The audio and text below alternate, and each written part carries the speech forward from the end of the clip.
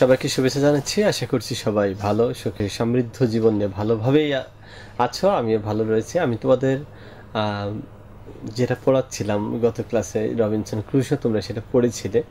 এবং সেই পড়ার তালে তালে কিন্তু আমরা একটা জিনিস শিখেছিলাম, সেটা হচ্ছে যে জীবনের জীবন চলার পথে যে গতিপথ রয়েছে, সেখানে যদি আমরা কখনো বিচ্ছিন্ন হয়ে যাই, তো মানুষের জীবনে আমরা কীভাবে ফিরে আসব সেই বিষয়টা আমরা দেখেছিলাম। এবং আশা করি সেই বিষয়টি তোমরা বুঝতে পেরেছিলে। তোমাদের সবাইকে আজকে ক্লাস অভিনন্দন জানাচ্ছি এবং আজকে নতুন একটি ক্লাস আমি আশা করছি আজকের ক্লাসটাও বেশ জীবনমুখী একটি গল্প প্রস্তাব করব তোমাদেরকে। আসলে আমরা অনেক সময় ভীত হই, সন্ত্রস্ত হই। যেমন আমার সাথে আমার সামনে যারা টিভি সেটের সামনে বা স্ক্রিনের সামনে বসে রয়েছে, তারা সবাই জানো যে আমরা অনেক সময় যে ধরো তুমি স্কুলে আসার সময় তুমি একটা গরিব ঘরের সন্তান। গরিব মানে ছোট লোক নয়, বড় লোক কিন্তু ছোট লোক হতে পারে। সেটা তার ব্যবহার তার আচরণের মধ্য দিয়ে ফুটে ওঠে।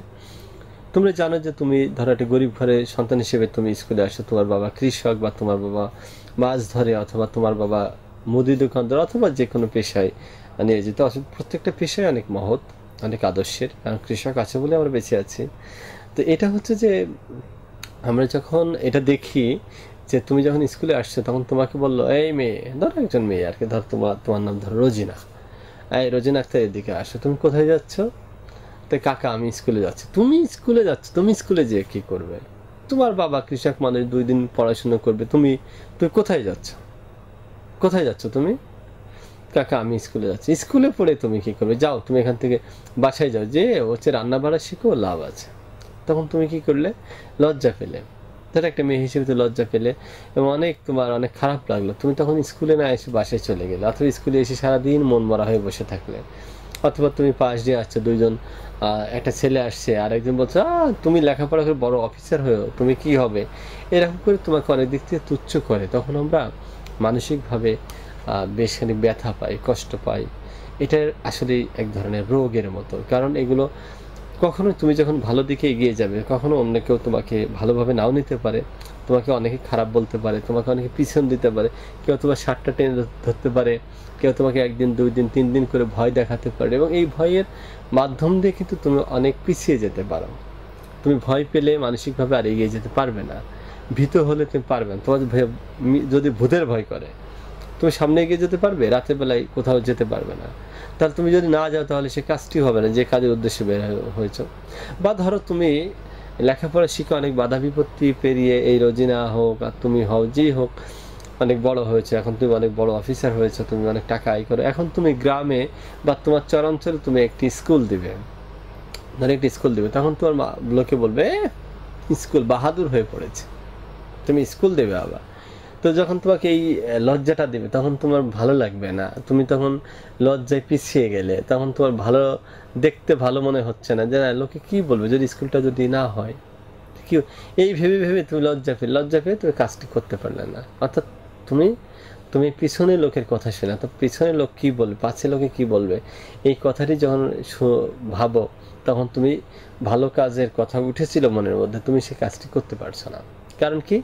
তোমার ভিতরে লজ্জা রয়েছে, ভীতি রয়েছে, ভয় রয়েছে, জড়তা রয়েছে, অজ্ঞতা রয়েছে, কুসংস্কার ছন্নতা রয়েছে। অর্থাৎ আমরা করতে পারব। তোমাদের একটা গল্প বলি আমি। গল্পটা হচ্ছে, ধরো নিশাত মজুমদারকে তোমরা নাম শুনেছ। নিশাত মজুমদার হলে হিমালয় পাহাড় জয় করেছে।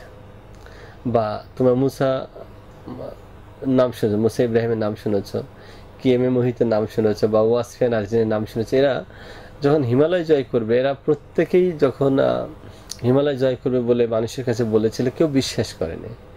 এবং তারা তাদেরকে অনেকেই, অনেক পিছিয়ে দেওয়ার জন্য চেষ্টা করেছিল, না, তুমি এটা পারবে না, তুমি এটা করবে না, তুমি এটা করতে যাবে না। সে কিন্তু এটা, তারা কিন্তু এটা করেছে এবং পৃথিবীর সর্বোচ্চ শিখরে আমাদের পতাকাটি তারা নিয়ে গেছে। এবং তারা প্রত্যেকেই কিন্তু তা নিবেদিত হয়ে শক্তি, সাহস নিয়ে, একটা মেয়ে পাহাড়ে উঠবে, পৃথিবীর সর্বোচ্চ পাহাড়ে, এটা আমাদের সমাজ কেমন করে দেখে, এটা তুমি জানো। অর্থাৎ তোমরা যারা লেখাপড়া করছ প্রত্যেকেই কিন্তু একটা বিষয় মনে রাখবে যে তোমাদের জীবন চলার পথে অনেক বাধা আসবে মানে বিপত্তি আসবে মানে লজ্জা দিবে অনেকে, ভয় দিবে, ভীতি দেখাবে। এবং তোমরা অনেক কিছুতেই কিন্তু পিছিয়ে পড়ার জন্য তোমাদের অনেকে টেনে ধরবে। এখান থেকে তোমাদের সংবরণ না হয়, সংবরিত না হয়, অর্থাৎ তোমরা পিছিয়ে না যে তোমাদের ভিতরে ভয় না পেয়ে, ভীতি না পেয়ে, সন্ত্রস্ত না হয়ে, তোমাদের ভিতরে কোনো মৃত্যু চেতনা বা ভূতের ভয়, জেনে বা কুসংস্কার ছন্নতা না রেখে তোমরা যদি সামনের পথে এগিয়ে যাও, তাহলে তোমরা অনেক বড় হতে পারবে। অনেক বড়ভাবে সফল হতে পারবে এবং সফলতার শিখরে যেতে পারবে। অর্থাৎ এই যে সফলতার গল্প, এই যে মানুষ বড় হয়, কেন জানো? তাদের শক্তির জন্য, তাদের সাহসের জন্য, তাদের প্রবণতার জন্য, তারা প্রত্যেকেই এক একটা উদ্দেশ্যে এক একটা লক্ষ্যের দিকে এগিয়ে যায়। অর্থাৎ এই লক্ষ্য, এই উদ্দেশ্য মানুষের ভেতরে অজানা শক্তি এনে দেয়। অর্থাৎ এই শক্তিগুলোই মানুষের ভেতরে সম্ভাবনা জাগিয়ে তোলে। মানুষকে কান্না থেকে বাঁচায়, মানুষের বোবার হাত থেকে বাঁচায়, মানুষের ভয়ের হাত থেকে বাঁচায়। তো আমি চাই তোমরা নতুন আদর্শে বড় হবে, কোনো ভয় পাবে না, অন্য কাউকে ভয় পাওয়ার তো অর্থই আসে না। কেন ভয় পাবে? তুমি জীবনকে পরিচালিত করবে তোমার মতো করে। তুমি জীবনকে লক্ষ্যের দিকে এগিয়ে নিয়ে যাবে। এর জন্য বাধা এলে তুমি বাধাকে ছুঁড়ে ফেলে দিবে। এই জন্য কষ্ট এলে তুমি কষ্টকে ফেলে দেবে। এর জন্য যন্ত্রণা বাড়লে তুমি যন্ত্রণা উপশম করে দেবে, কমিয়ে ফেলবে তুমি। তোমাকে কোনো ভয় পাওয়ার কোনো কিছু নাই। জীবনকে এগিয়ে নেওয়ার জন্য, সম্ভাবনা তৈরি করার জন্য তোমার জীবনে একজন এসে তোমাকে বাধা দিবে, না, এটা করা যাবে না। কিন্তু না, তোমাকে এটা করতে হবে। তুমি জানো যে একদিন ভালো খেলতে চাও, তুমি খেলাধুলা করছ, তোমাকে একদম বলবে, এই, তুমি খেলে কি করবা? তুমি তো একটা ছোট ঘরের ছেলে। তোমার টাকা আছে? বড় হতে টাকা না, বড় হতে গেলে টাকা লাগে না। বড় হতে গেলে সংকল্প লাগে, সাহস লাগে, শক্তি লাগে, ধৈর্য লাগে এবং পরিশ্রমী হতে হয় বড়দেরকে সম্মান করতে হয়। তাহলেই যারা বড় হয়। বড় হওয়ার জন্য কোনো অর্থবিত্ত কিচ্ছু লাগে না। পৃথিবীতে যারা বড় হয়েছে, তারা কখনো অর্থবিত্তের পিছিয়ে ছোটেনি। অর্থশালী, বৃত্তশালীরা কখনো পৃথিবীকে সুন্দর করতে পারেনি। আমাদের সবার আগে দরকার নিজেকে পরিবর্তন করে, মানসিকতাকে পরিবর্তন। আমাদের মেন্টালিটি যাকে আমরা ইংলিশে বলে থাকি, মানসিকতা, সেখানে সমস্যা আছে আমাদের সমাজে। তুমি একটা মেয়ে, তুমি যখন প্লেয়ার হতে চাইবে, ভালো লাগে তোমার খেলা করতে। তোমাকে অনেকে বাধা দেবে, ছি ছি ছি, মেয়ে হিসেবে তুমি খেলা করছ? ন কোনোভাবেই তুমি পিছিয়ে আসবে না। তুমি তোমার লক্ষ্যের দিকে এগিয়ে যাবে। জীবনে তুমি যে লক্ষ্য স্থির করো তুমি তো সামনে এগিয়ে যেতে পারবে। কিন্তু আমরা সামনে এগিয়ে যেতে পারি লজ্জা পাই, ভয় পাই। আমাদের ভেতরে কত কথা জাগে যারা বড় হতে চায় বড় কিছু করতে চায় বড় লক্ষ্যের দিকে এগিয়ে যেতে, বাট আমরা পারি না। কেন পারি না? পৃথিবীর সবাই যে কাজ করে বেড়াচ্ছে, পৃথিবী অস্ট্রেলিয়ার একটা মেয়ে খেলা করে বেড়াচ্ছে, সে পৃথিবী জয় করে ফেলছে, সারা পৃথিবী। অথচ তুমি কি করতে পারছ? অর্থাৎ আমাদের সমাজ তোমাকে পিছিয়ে দিবে। আমাদের সমাজের মানুষ তোমাকে ভয় দেখাবে। তুমি এখানে যাবে না। তুমি ঢাকা গেলে তোমাকে ছুড়ে ফেলে দেবে। না, ঢাকা গেলে তোমাকে কেউ ছুড়বে না। তোমার যোগ্যতা, তোমার পারফরমেন্স তোমাকে সামনে দেখে এগিয়ে নিয়ে যাবে। অতএব আমার এই ক্লাসটি তোমাদের অন্যতম একটা অনুপ্রেরণামূলক ক্লাস এবং এই ক্লাসের আমাদের আজকে একটা পাঠ রয়েছে এই লক্ষ্যে। এই উদ্দেশ্য নিয়েই সেটি হচ্ছে পাছে লোকে কিছু বলে, একটা কবিতা। পাছে লোকে কিছু বলে।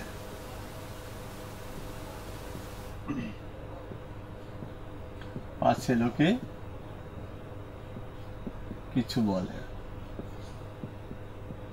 এটা লিখেছেন হলো কামিনী রায়।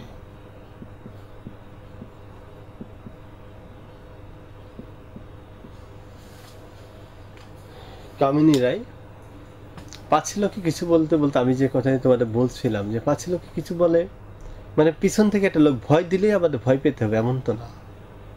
আমি অবাক হয়ে যাই যে আমাদের অনেক মেধাবী সন্তানেরা তোমরা যারা বসে আছো, আমি তোমাদের খাতা দেখি এবং ভাবি যে তোমরা কত মেধাবী। এবং তোমরা পৃথিবীকে জয় করে ফেলতে পারো। তোমাদের প্রত্যেকের ভিতরে সেই শক্তি রয়েছে। কিন্তু অনেকে সেই শক্তি পাচ্ছে না। একটা মানুষের তোমাদের ক্লাস ফোরে ফাইভে একটা মেয়ের বিয়ে হয়ে যাচ্ছে। এটা তোমরা কখন মেনে নেবে না। কারণ যখন বাল্য বিবাহ হবে, তখন তুমি স্বাস্থ্যগত ঝুঁকিতে তুমি বেশি দিন বাঁচতে পারবে না। তোমার ভিতরে পুষ্টির সমস্যা হবে, তোমার মানসিক সমস্যা হবে, তুমি তো এগিয়ে যেতে পারবে না, তোমাকে শক্তি সাহস নিয়ে সামনে এগিয়ে যেতে হবে, তোমাকে বুঝতে হবে যে জীবনের অর্থ অনেক সুন্দর। ওই উচ্চ নিচু জায়গা থেকে পৃথিবীর শ্রেষ্ঠ মানুষে পরিণত হয়েছে। কৃষক ঘর থেকে এসে বঙ্গবন্ধু শেখ মুজিবুর রহমান বড় হয়েছে। হজরত মোহাম্মদ সাল্লাহ সাল্লাম একটা তা, খেজুর পাতার বিছানায় থেকে পৃথিবীর শ্রেষ্ঠ মানুষ হয়েছে। তুমি পৃথিবীর সব বড় বড় মহান মানুষদের আদর্শ দেখলে যে বুঝতে পারবে যে অর্থ নয়, মানুষকে বৃত্ত নয়, মানুষকে বড় করে তার শক্তি, ধৈর্য, সাহস এবং সত্য প্রকাশ করে। অতএব তুমি কখনো পিছিয়ে যাবে না। তোমাকে পিছিয়ে যাওয়ার জন্য তোমাকে অনেক কাজ করবে, তোমাকে ধরবে পেছন থেকে, তোমাকে ভয় দেখাবে, সামনে ভূত আছে, সামনে এইটা আছে, এই নদী পার হলো এই নদীর জিন থাকে। এই সমস্ত ভয় দেখে তুমি সেই সমস্ত কুসংস্কারে বিশ্বাস করবে না। তোমাকে এগিয়ে যেতে হবে তোমার লক্ষ্যে, তোমার উদ্দেশ্যে। তোমার অর্জনের জন্য তোমাকে কাজ করতে হবে, সততার জন্য তোমাকে নিবেদিত হতে হবে। কে তোমাকে রুখবে? আমি তো টের পাই না যে পৃথিবীর কে আছে তোমাকে রুখতে। তুই কখনো ভাববে না যে না, জীবন ছোট। কখনো ভাববে জীবন অনেক বড়। জীবন অর্জন করার মতো অনেক কিছু আছে। এখানে পিছিয়ে যারা লোক লোকে কথা বলবে, তার মানে আমি পিছিয়ে যাব? আমাদের ভিতরে কত ভালো চিন্তা হচ্ছে, একটা ভালো কল্যাণ, একটা পথের মানুষ, ভিক্ষুক মারা যাচ্ছে। তখন তুমি ভিক্ষুককে একটা পানি খাওয়াতে যাও তুমি ভাবছ যে আমি যদি পানি খাওয়াই তাহলে আমার বন্ধুরা হাসবে। এ, তুমি নায়ক হতে যাচ্ছ। না, মানুষের কল্যাণের জন্য যা কিছু করা যায় সেটাই নায়ক। তারাই মানুষ। আর যারা হাসে, বেয়াদব স্টুপিড এগুলা। এবং এইগুলোর কোনো বেঁচে থাকার যোগ্যতা নাই। এরা অনেক পিছিয়ে যায়। মানুষের কল্যাণের জন্য নিবেদিত হও, নিজেকে বড় করার জন্য নিবেদিত হও, আত্মচেষ্টায় বলিয়ান হও, শক্তিশালী হও। দেখবে পৃথিবীর সমস্ত সফলতা তোমার হাতের মধ্যে এসে গেছে। তুমি কখনো পিছিয়ে যেতে পারবে না। তুমি কখনো অন্য থেকে ভয় পাবে না। অন্যের কথা দ্বারা প্ররোচিত হবে না। তুমি নিজে যেটা বুঝবে যে এটা ভালো, এটা কল্যাণকর, এটা সত্যের, এটা আদর্শের, এটা ন্যায়ের, তার পক্ষে তুমি দাঁড়াবে, দেখবে তোমার জয় আসবে। আমাদের এই ধর্মে একটা কবিতা রয়েছে, কবিতার নাম হচ্ছে পাঁচি লোকে কিছু বলে, আমি আগে বলেছি, এটা কামিনী রায়ের লেখা। কবিতাটি স্তবক সংখ্যা সাত। স্তবক? সাতটি। মানে সাতটা প্যারা, স্তবক মানে প্যারা। আর এর পংক্তি পংক্তি মানে যে লাইনের মতো আর কি, যেটা পংক্তি হচ্ছে আঠাশটি। এই আঠাশটি পংক্তির প্রতিটা যে সাতটা প্যারা, এই সাতটা প্যারা চারটা লাইন করে আছে বা পংক্তি করে আছে। এই চার লাইনে অর্থ একই। অর্থ এক। যে আমরা ভালো কাজ করতে যেও ভালো কাজ করতে পারছি না সমালোচনার ভয়ে। তা সমালোচনার ভয়ে আমি কেন করব? আমি কেন, আমি একটা কাজ করেছি, তুমি একটা কাজ করতে যে ফেল করছ বা তুমি একটা পরীক্ষা দিতে যে তুমি ভালো করতে পারো নি এর মানে কি তুমি আর এগিয়ে যাবে না? তুমি আর পরীক্ষা দিবে না? যে তুমি অঙ্ক ভালো পারো না, সে তুমি বাংলা ভালো পারো, তুমি বাংলা সুন্দর করে কথা বলো, তোমার জন্য টিভি রেডিও পত্রিকা স্কুল কলেজ কত জায়গায় সুন্দর সুন্দর তুমি সুন্দর করে কথা বলা শেখো। তুমি ভালো একজন আর্টিস্ট হও, একজন শিল্পী হও তুমি। যদি ভালো গান গাও তুমি শিল্পী হবে। একজন তুমি গান গাইলে মনে করবে তোমার এই গলায় তুমি গান গাইবে। সে সে যে বিশ্রীভাবে বলেছে, ওটা হচ্ছে তোমার কণ্ঠ অনেক সুন্দর। কারণ যারা নিন্দক, যারা সমালোচক, এরা কখনো অন্যের ভালো কিছু চায় না। বুঝতে পেরেছ? তবে হ্যাঁ যখন নিন্দুকে খারাপ বলে, সেই খারাপটা দেখতে হয় যে, আমি আদৌ ও যা বলেছে আমি কি সত্যই খারাপ? যদি তোমাকে কেউ মিথ্যাবাদী বলে তুমি আগে ভাববে যে লোকটা মিথ্যাবাদী কেন বলল? তখন দেখবে, যদি মিথ্যা বলো তুই সতর্ক হতে পারবে। এই জন্য নিন্দুক সবসময় খারাপ তাও না। তবে যারা পিছিয়ে নেওয়ার জন্য টান দেয়, তোমাকে ভয় দেখায়, এরা কখনোই ভালো না। এদের এড়িয়ে চলবে এবং এদের থেকে লজ্জা না পেয়ে নিজেকে কীভাবে স্ট্যাবলিশ বা প্রতিষ্ঠিত করে দেয়, সেই স্বপ্নে বিবাহ হবে। ঠিক আছে? চলো আমরা কবিতাটি পড়ি। কবিতাটি পড়ে দেখে আসি যে এর মধ্যে কী কী রয়েছে। আশা করি তোমাদের প্রত্যেকটি বিষয় খুবই ভালো লাগার কথা। কারণ এই কবিতাটি একই উত্তর, সত্যি যে একই। আমি সেই কথাগুলো আগেই বলেছি, বেশ আক্রমণাত্মকভাবে বলেছি যে প্রত্যেকটি কথার মিনিং বা অর্থ রয়েছে। তোমরা সেই জিনিসটি খেয়াল করবে এবং খেয়াল করলে এখান থেকে উদ্দীপক কেলতে দেখতে পারবে। কারণ তোমাদের শক্তি, সাহস, ধৈর্য, প্রজ্ঞা তোমরা সামনে দিকে নিয়ে যাবে। আমি আশীর্বাদ রেখে তোমাদের জন্য আজকের কবিতাটি সাজিয়েছি। আশা করি এই কবিতাটি তোমাদের বেশ ভালো লাগবে। আর ভালো লাগারই কথা, এটি চমৎকার একটি কবিতা। চলো আমরা কবিতাটি পড়ি। দেখে আমি প্রথমে তোমাদের কবিতাটি পড়ে শোনাবো, তারপরে ব্যাখ্যা লেখাবো। ওকে? চলো আমরা একটু জেনে আসি কবিতাটি কি রয়েছে। ছবিটা দেখো, যে একটা লোক ঘর থেকে বের হচ্ছে ভাবতেছে যে আসলে আজকে আমার কি হবে, যদি লোকে খারাপ বলে, কি করতে যাচ্ছে, আমি কোথায় যাচ্ছি? এই লক্ষণে যখন আমরা সামনের দিকে এগিয়ে যাই, তখন কিন্তু আমরা, পথ আমরা ফুরাবে না। কারণ তোমার দুশ্চিন্তা থাকলে তুমি কোনো যে মানসিকভাবে স্বস্তি পাবে না, ভালো থাকবে। ঠিক আছে, চলো আমরা দেখে আসি। পাছে লোকে কিছু বলে, কামিনী রায়, করিতে পারি না কাজ, সদা ভয়, সদা লাজ। সংশয়, সংকল্প সদা টলে, পাছে লোকে কিছু বলে। আড়ালে আড়ালে থাকি, নীরবে আপনা ঢাকি। সম্মুখে চরণ নাহি চলে, পাছে লোকে কিছু বলে। হৃদয়ে বুদবুদ মতো ওঠে শুভ্র চিন্তা কত, মিশে যায় হৃদয়ের তলে, পাছে লোকে কিছু বলে। কাঁধে প্রাণ জবে, আখি সযতনে শুষ্ক রাখি নিরামল নয়নের জলে পাছে লোকে কিছু বলে। কাঁধে প্রাণ জবে আখি, একটি স্নেহের কথা প্রশমিতে পারে ব্যথা, চলে যায় অপেক্ষার ছলে, পাছে লোকে কিছু বলে। মহৎ উদ্দেশ্যে যবে একসাথে মিলে সবে, পারে না মিলিতে সেই দলে, পাছে লোকে কিছু বলে। বিধাতা দিচ্ছেন প্রাণ, থাকি সদা ম্রিয়মান। শক্তি মরে ভীতির কবলে, পাছে লোকে কিছু বলে। কবিতাটি আমরা পড়লাম, এখন থেকে ব্যাখ্যা লিখে, একটু ব্যাখ্যাটা তো লিখে নেবে। আশা করি বেশ ভালো লাগারই কথা, এবং প্রত্যেকটা লাইনের কিন্তু একই উত্তর পাবে তোমরা খুঁজে। জাস্ট আমি অর্থটা লিখে দিব, সেগুলো তো পাশে পাশে, এটা বোর্ডে লিখে দেবো, এটা তো বইয়ের পাশে পাশে লিখে নেবে। ঠিক আছে? তাহলে আমরা একটু দেখে আসি যে ব্যাখ্যা করলে কি হতে পারে। করিতে পারে না কাজ, সদা ভয়, সদা লাজ। সবসময়, তাহলে এখানে আমরা দুই লাইনে, আমরা একটা লাইনগুলো লিখে দেবো। দুই লাইনে কি বলছে যে, সদা ভয়, সদা লাজ। সদা মানে সর্বদা, ভয় বা লাজ। কি আমরা এবার লিখে নেব, ভয়ের জন্য বা লজ্জার জন্য। এটা বইয়ের পাশে লিখে দেবে হ্যাঁ? লজ্জার জন্য আমরা কোনো কাজে অগ্রসর হতে পারি না। হ্যাঁ। এবার তিন নম্বর লাইনে কি বলছে? সংশয়ে সংকল্প সদা টলে, পাছে লোকে কিছু বলে। সংশয়ে সংকল্প সদা টলে। সংশয় মানে দ্বিধা। সংকল্প মানে আমাদের যে মনের যে সংকল্প মানে যে মনের যে কল্পনাটা বা ভাবনাটা সবসময় টলে। টলে মানে কি? দোল খায়, দোদল্যমান থাকে। তাহলে সংশয় বা দ্বিধায় সংকল্প সদা টলে। এর কারণটা কি? পাছে লোকে কিছু বলে। অর্থাৎ এখানে বলছে যে, আমাদের, লিখে নাও এখানে, আমাদের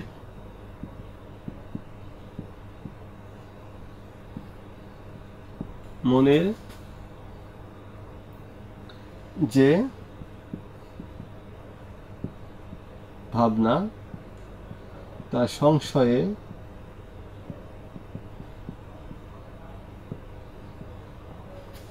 দোদুল্যমান থাকে। দোদুল্যমান মানে দোদুল্যমান থাকে হ্যাঁ? মনের যে ভাবনা তার দোদুল্যমান থাকে। সমালোচনার ভয়ে সমালোচনার ভয়ে আমাদের সংকল্পগুলো যে সংকল্পগুলো থাকে সংকল্পগুলো কি হয় না? সামনে যেতে পারে না। মানে কে কি বলবে এই ভেবে, কে কি বলবে এই ভেবে আমরা সামনে যেতে পারি না। আড়ালে আড়ালে থাকি, নীরবে আপনা ঢাকি। আড়ালে আড়ালে থাকি, নীরবে আপনা ঢাকি, সম্মুখী চরণ নাহি চলে, পাছে লোকে কিছু বলে। আড়ালে আড়ালে থাকি মানে কি? চার নম্বর লাইন, চার নম্বর, পাঁচ নম্বর লাইন, দেখো। পাঁচ। আড়ালে আড়ালে থাকি। পাঁচ, ছয়। আমরা একটু লাইন বাই লাইন একটু করে নিই। পাঁচ, ছয়। আড়ালে আড়ালে থাকি, নীরবে আপনা ঢাকি। অর্থাৎ সমালোচনার একই কথা আর কি, সবসময় সমালোচনার ভয়ে বা কে কি বলবে? এই ভেবে আমরা নিজেকে গুটিয়ে রাখি, বুঝছ? কি রাখি? গুটিয়ে রাখি। আড়ালে নীরবে আপনা ঢেকে, আপনা মানে নিজেকে নীরবে ঢেকে রাখি, গুটিয়ে রাখি। সম্মুখে চরণ নাহি চলে, পাছে লোকে কিছু বলে। সাত, আট নম্বর লাইনে, সম্মুখে চরণ নাহি চলে। আমাদের সামনের দিকে কি? পিছে কে কি বলবে? সমালোচনা সে ভয়ে। সব লিখে নিবে হ্যাঁ? সমালোচনা সে ভয়ে আমাদের লক্ষ্যে আমরা যেতে পারি না। লক্ষ্যে আমরা যেতে পারি, সম্মুখে চরণ নাহি চলে। অর্থাৎ আমাদের সামনে সম্মুখে মানে সামনের দিকে চরণ মানে পা আমি যেন আবার লিখে দেবো এটা। নাহি চলে, পাছে লোকে কিছু বলেন আচ্ছা এরপর হৃদয়ে বুদবুদ মতো ওঠে শুভ্র চিন্তা কত? নয় দশ লাইনে হৃদয়ে বুদবুদ মতো ওঠে, শুভ্র চিন্তা কত। এটা হলো যে আমরা ভালো কাজ করার জন্য, ভালো কাজ করার জন্য, আমরা ভালো কাজ করার জন্য অনেক সময় হৃদয়ে, হৃদয়ের মধ্যে, ভালো কাজ করার অনেক সময় হৃদয়ের মধ্যে অনেক শুভ বুদ্ধি। কি বুদ্ধি? শুভ জাগ্রত হয়। জাগ্রত হয়। কিন্তু বলছে যে মিশে যায় হৃদয়ের তলে পাছে লোকে। কিছু এটা কেন মিশে যায়? এগারো বারো নম্বর লাইনে, কেন মিশে যায়? মিশে যায় মিশে যায় হৃদয়ের তলে। মিশে কেন যায়? ওই যে পিছিয়ে কে কি বলবে? সমালোচনার ভয়ে আমাদের এই শুভ চিন্তাগুলো, এই যে আমি সংক্ষেপে লিখে দিই। সমালোচনার ভয়ে আমাদের শুভ চিন্তাগুলো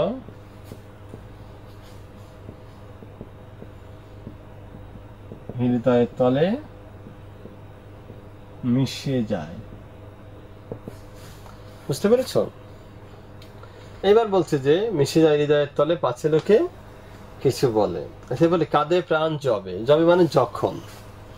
যখন প্রাণ কাঁদে, আখি সজতা শুষ্ক রাখে। অর্থাৎ দেখো, তেরো চোদ্দ। অন্যের কষ্টে যখন আমাদের হৃদয়ে কষ্ট হয়, তখন কি করি? আমাদের বাইরের দৃশ্য উল্টো রাখি। উল্টো মানে কি?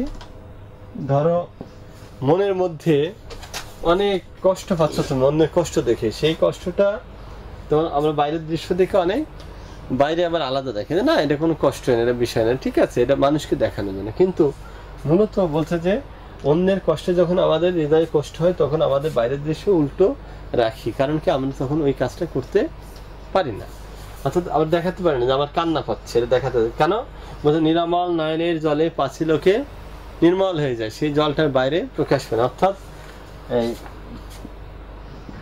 পনেরো ষোলো লাইনে বলছে যে, অন্যের কষ্টের জন্য, অন্যের কষ্ট সমালোচনার ভয়ে, কিসের ভয়ে? সমালোচনার ভয়ে হৃদয়ে মিশে থাকে।